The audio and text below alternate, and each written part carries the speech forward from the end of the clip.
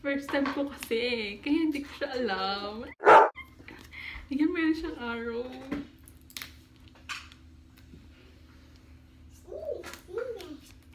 Kailangan ingatan natin kasi wala tayong warranty dahil mahal.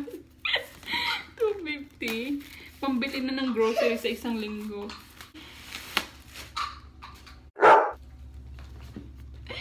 So excited!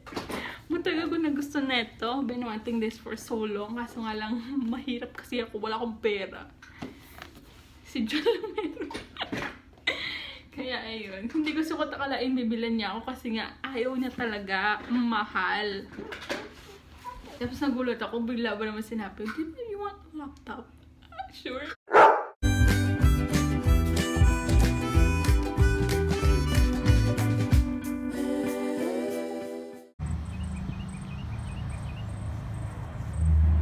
Natalie! Dance! Dance! Dance! Dance! Dance! Da, dance! Dance! Dance! Dito kami sa labas. Chloe! Hi! Hi, Chloe! Pupoy na ikaw. Come on! Pupo! Dito kami sa labas. Sky! Today, pupunta kami ni Jan sa my Best Buy para tumingin ng laptop para sa aking editing sa YouTube at Instagram.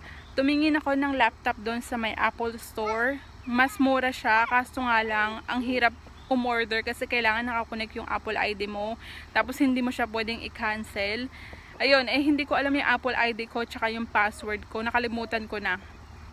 Kaya hindi ko siya mabili online sa Apple Store.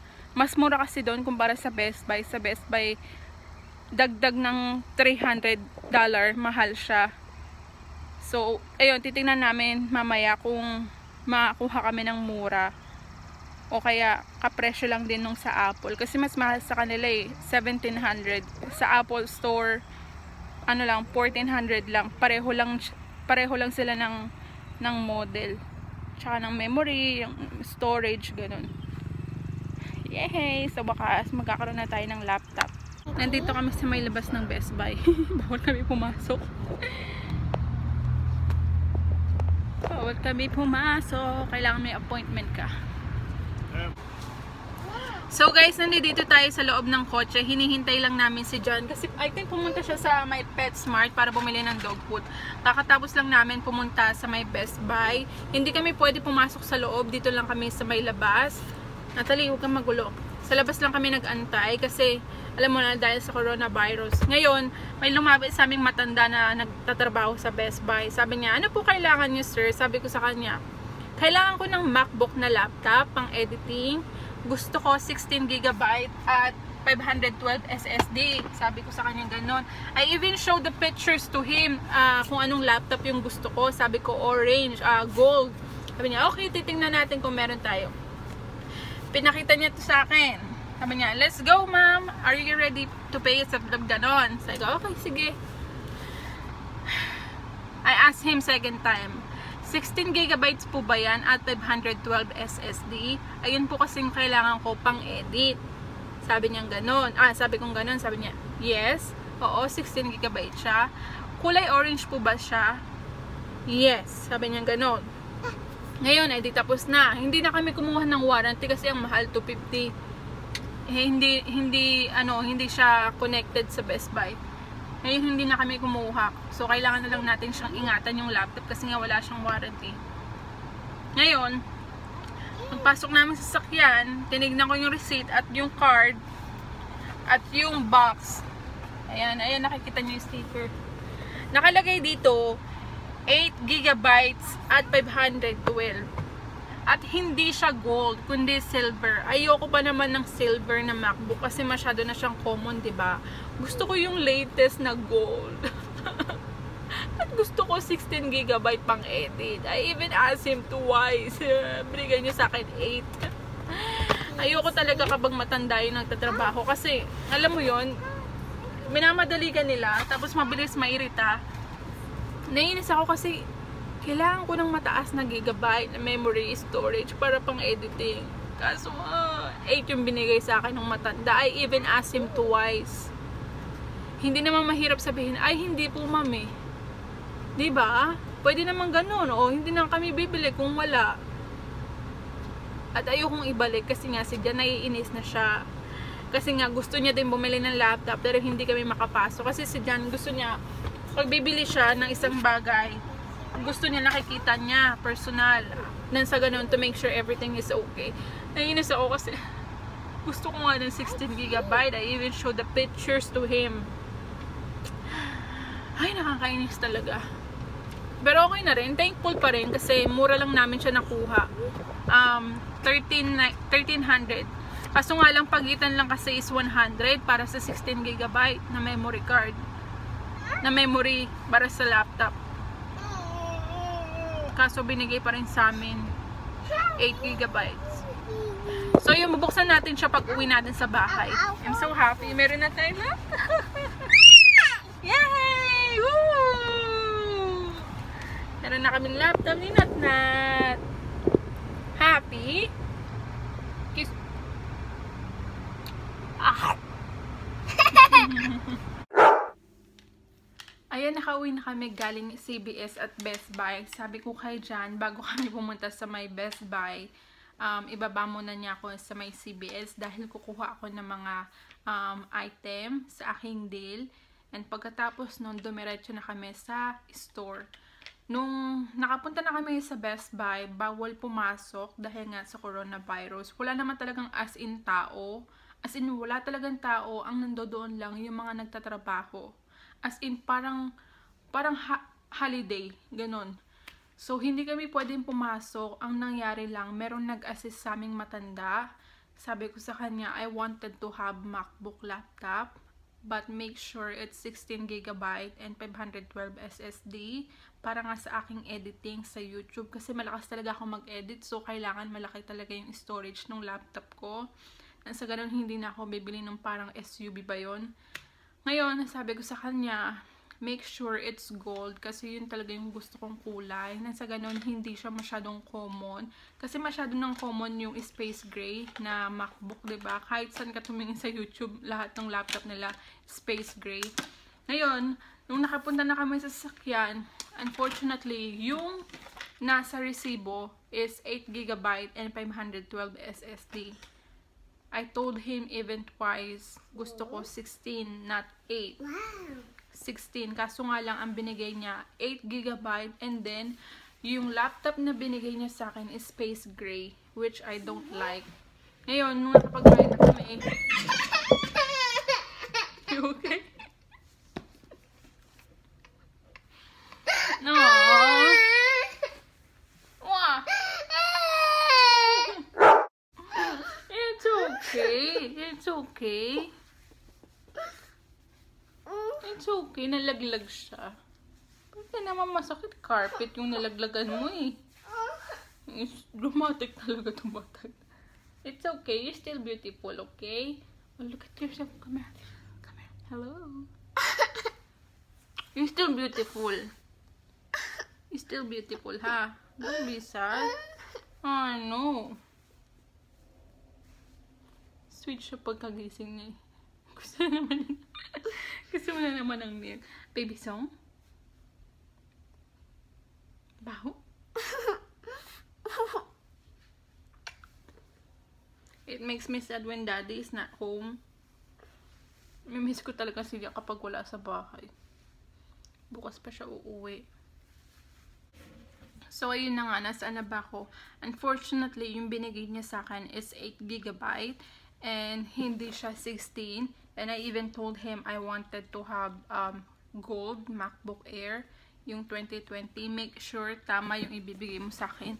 Nung pagtingin ko sa resibo, 8GB lang siya and then yung laptop is space gray which I don't really like. Kasi nga masyado na siyang common. So, syempre, syempre dahil bago tong MacBook Air na to, bagong labas, la, bagong labas siya, kunin mo na yung latest na kulay, 'di ba? And then, nung after na namin magbayad, doon na lang niya sinabi na hindi siya gold, kundi space gray. Pouch? But it's okay. Gusto ko lang naman kasi talaga nung, nung gold. Pero, wala naman talaga siya, wala naman talaga siya sa kulay. Nandoon siya sa parang storage and um, gigabyte. Yun talaga yung aking focus sa MacBook kasi nga dahil sa editing. Ngayon, ito yung itsura ng MacBook. Ayan. Nabuksan ko na to kagabi. Sobrang excited ko talaga siyang makita. Ayan yung itsura niya. So, this is um, MacBook Air 2020 Space Gray. And then, kapag binuksan niyo siya, um, galing doon sa box, makikita niyo dito sa likod kung ano yung pwedeng gawin ng MacBook. So, sa MacBook na to, meron siyang Touch ID, Meron siyang headphone jack stereo speaker. And then, nandito din yung size. And then, meron tayong FaceTime HD camera. So, ibig sabihin malinaw siya. And then, 8GB, 512. And then, yung size ng laptop, which is 13-inch na MacBook Air. So, buksan na natin siya. This is my first time to have MacBook. I really wanted to have one para nga sa editing. Hindi naman talaga ako materialistic na tao. Gusto ko lang talaga ng MacBook para talaga sa editing. Kasi ang dami nagsasabi na maganda daw editing yung laptop na MacBook. So, ayan siya. Super excited. Maganda din naman talaga yung space gray. Kaso nga lang masyado na siyang common eh. Sa box, meron tayong cord sa charger. And then, meron parang guideline And then, yung kanyang charger. So, so far, yun lang naman yung laman ng box. And then, yung mismong laptop. Siya. Spray, space gray. Actually, maganda din naman yung space gray. Kaso nga lang, gusto ko talaga yung gold. And then, hindi na kami kumuha ng warranty. Kasi yung warranty niya is 250 for one year. Kasi yung camera ko na um, Canon, $60 $65 ata yung yung warranty pero good for 2 years na. Ito, 250 for only 1 year. So, sabi ko, wag na lang kasi nga, mas ma magiging mahal siya. Magiging, para magiging 1700 plus siya. So, mahal. Lalo na sa 8 gigabytes lang naman na laptop. So, ito siya so far. Yan yung itsura ng face ko kapag merong mock-up.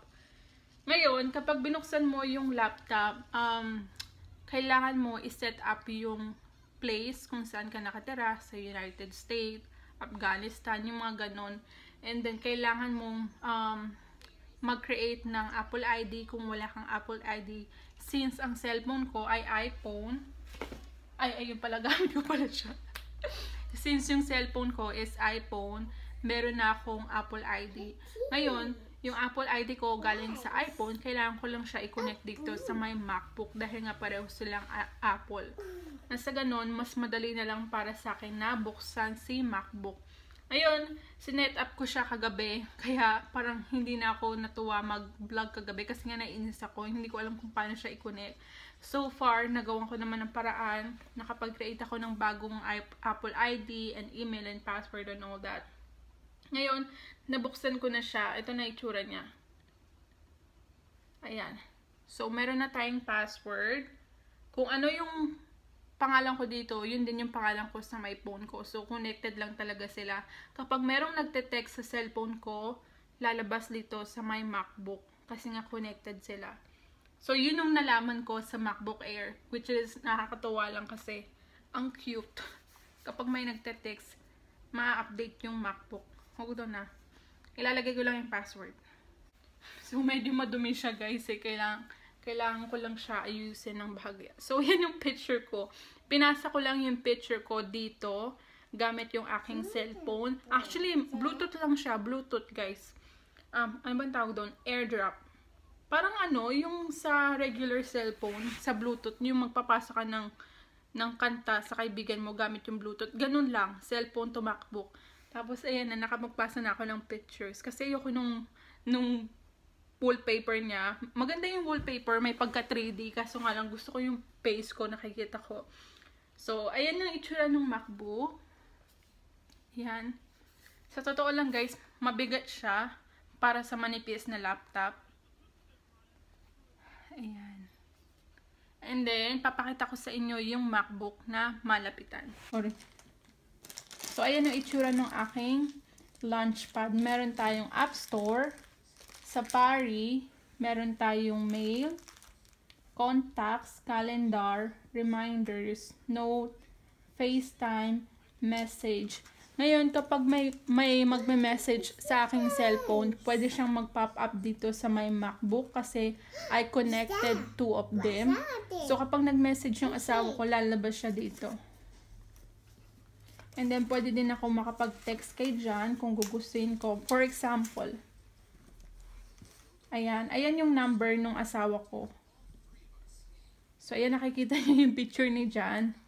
So, pwede ko itong gamitin pan-text kay John. So, kasi nakakonect silang dalawa. So, ayan siya so far. Natalie, behave only. And then, meron tayong maps. Meron tayong pictures. Isa lang yung pictures ko sa ngayon kasi yan lang yung kaninik ko kagabi. And then, meron tayong contacts, calendar, reminders, music. Wala akong music kasi hindi talaga ako masyadong naglalagay ng music sa phone. Meron tayong notes, podcasts, and TV, news, numbers, ketone, pages, and app store, and all this. Ngayon, pupunta ako dito sa my launchpad. Ito yung aking editor, yung iMovie. So, maglo-loading lang siya. So, ayan yung aking editor. Ayan. Diyan na ako makapag-edit ng aking video para sa aking Instagram and YouTube. So far, yun lang yung alam ko dito sa MacBook. And then, so yun lang. And I believe itong edit, pwede ka makapag-edit ng pictures mo kung gusto mo. So, ayun lang siya so far, yung alam ko sa aking MacBook. So, ngayon, yung aking MacBook, meron siyang touchpad. Ito siya. So, pwede niyong gamitin yung touchpad or yung mismong password. Kapag tinatamad kayong mag-enter ng password nyo, pwede niyong gamitin yung touchpad para mabuksan yung MacBook. If you guys haven't watched my last last vlog tungkol doon sa aking Pixie PR package, dahil nga um, bumili kami ng bagong bahay, di ba? Hindi ko alam kung paano mag mag-update ng bagong address. So far, pinadala na ko ni Pixie, kasali pa rin tayo sa ating PR. Pinadala nila ko nung May 14 ng package, pero hindi nila alam kung saan ipapadala na kasi hindi na kami doon nakatira. Ngayon, meron akong natanggap na letter galing sa UPS. Sabi nila, meron akong package galing kay Pixie. Pero, kailangan ko magbayad ng $8.70 para sa change address ata. And then, thank you doon sa mga tumulong sa akin para magbago ng address kay Pixie. Thank you, thank you. Alam mo na kung sino ka. So, ayun, natanggap na namin. Nakuha na ni Calbo yung aking package galing doon sa Braselton kasi doon nakalocate yung USPS. So, ito yung latest na PR packages na pinadala ni Pixie. Ayan. So, ito yung kanilang Jasmine collection na skincare. Akala ko talaga hindi na ako makakatanggap dahil nga dun sa aking address problem. Pero nakatang nakatanggap pa rin ako. So, ito yung itsura no, skincare. Ang, ang ganda no. Yan siya. Ayoko talaga ng purple. Pero for some reason, ang cute nito, oh. Si Jelly, oh, sino ba, ang pangalan nung nakalimutan ko? Si Jelly, mahilig siya sa purple. So, ayun, it reminds me of her. Pag nakikita ko tong package, kasi purple siya. Kung ano lang yung natanggap ko dati sa dating skincare, nakalimutan ko na kung anong pangalan ng skincare na yun. Ganun lang din yung natanggap namin ngayon. Pero ngayon, dalawa yung serum. Hindi talaga ako masyadong mahilig sa serum kasi masyado siyang malagkit sa face. Pero ito-try natin. Baka sakaling mag-work. Hindi natin alam. You never know. So, meron tayong retinol jasmine cleanser. Yung cleanser ko na isa, galing din sa gantong package. Paubos na siya, guys. Ginagamit ko siya kapag naliligo ako. So, meron tayong retinol, ah, retinol, ah, tama, retinol jasmine cleanser. And then, meron tayong panibagong tonic, pero this time, ano naman siya, retinol tonic. And then, meron tayo, ito, super excited ako dito sa eye cream nila. Meron tayong retinol eye cream. Um, para siyang roller. Ay, hindi naman siguro. So, ayan. And then, meron tayong lotion. Retinol Jasmine Lotion. And then, meron tayong dalawang klaseng um, serum. Meron tayong overnight retinol oil. And then, jasmine oil blend. Sabi ko ka dyan, bago tayo pumunta ng Best Buy, punta muna tayo sa CBS kasi meron akong bibilin mga deal. Ito yung aking napamili kahapon sa CBS. Wala talagang tao doon. Ako lang, tsaka si Natnat. Ito yung mga napamili ko. Ang binayad ko dito is $2.03. Ano ba yun without tax? Siyempre. Malaki din yung binayaran ko kasi sa tax nga. So, ito yung mga nakuha ko. First, itong Skintimate na razor. Gustong gusto ko, gustong gusto ko talaga nito matagal na. Kaso nga lang, hindi natataon yung aking mga coupon at digital. And then, nagulat ako kahapon. Ang ganda ng aking digital coupon. So, ayan, nakakuha tayo ng, ng um, hindi lang dalawa, kundi tatlo. So, ayan siya. Meron tayong razor. Oh my. And then, syempre, hindi nawawala kapag nagkukupon ako sa CBS is Meg. Uh, free na naman siya.